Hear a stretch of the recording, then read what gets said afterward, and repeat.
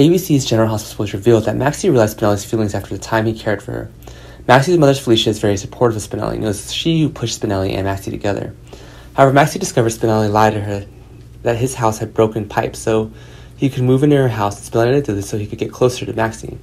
Maxie was a bit angry when both Spinelli and Felicia teamed up to lie to her. But in the end, their lie was harmless, so Maxie decided to ignore it. However, Maxie is still afraid that Spinelli may continue to cheat on her in the future. Maxie's experienced a lot of hurt and love, so now she's quite shy. And Felicia tried to reassure Maxie, and Maxie could not be afraid forever because of one of the hurts.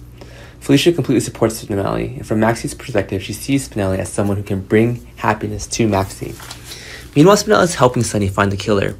This guy's trying to target Sonny and other leaders, and Sonny needs to act first to gain the initiative and can't still sit still and wait for him to find him. Sonny convinced Spinelli to help him, in addition to Spinelli, Ava was also involved in this incident, and actually Sonny and Spinelli's relationship is not too close.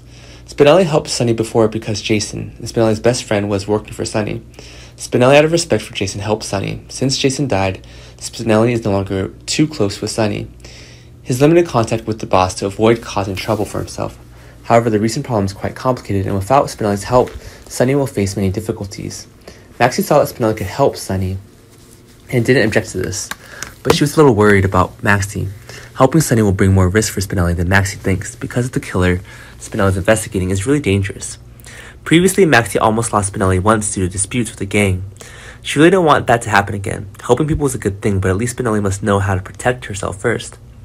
If Spinelli has decided to enter into a serious relationship with Maxie, he can't take his life lightly.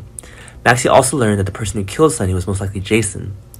Although Jason and Spinelli are close friends, Jason's now under control, so he doesn't remember anything about the past.